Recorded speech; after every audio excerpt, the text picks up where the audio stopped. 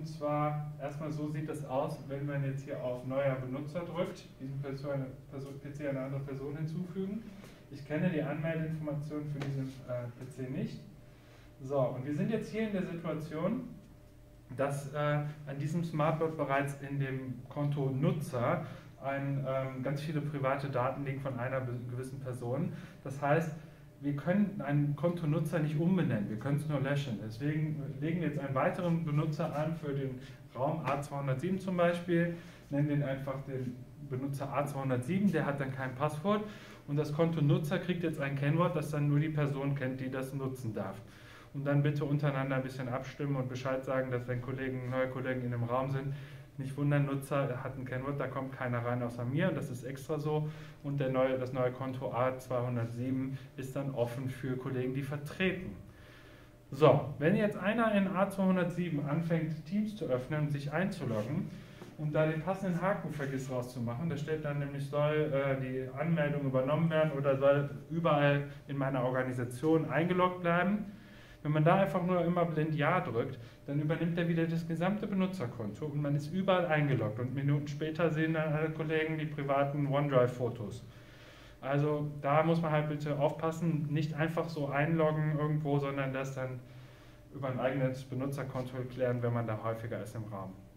Das ist leider so, Microsoft ist da ziemlich blöd. Ja, hier, Konto erstellen. Wir wollen auch kein Konto erstellen. Nein, wir wollen einen Benutzer ohne Microsoft-Konto hinzufügen. Jetzt nochmal Benutzername, was war das? A207. A207. So, und hier wollen wir jetzt auch gar kein Kennwort haben, denn das ist ja für die Leute, die hier Vertretungsunterricht machen.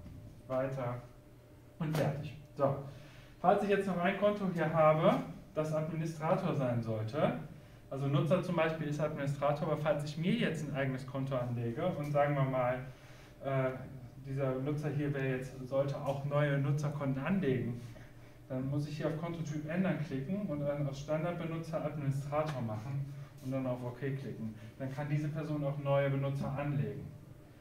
Denn sonst kann nur die, die Person, bei der hier Admin, Administrator steht, ein neues Konto anlegen. Das ist noch ein ganz wichtiger Punkt.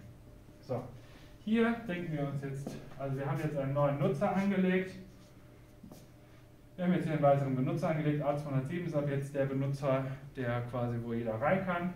Und hier diesen Konto Nutzer werden wir jetzt ein Kennwort hinzufügen. Und dann Kennwort anlegen, Kennwort hinzufügen. Und dann äh, kennt das nur noch die Person, die sich da einloggen kann. Das noch als Nachtrag zu dem ersten Video.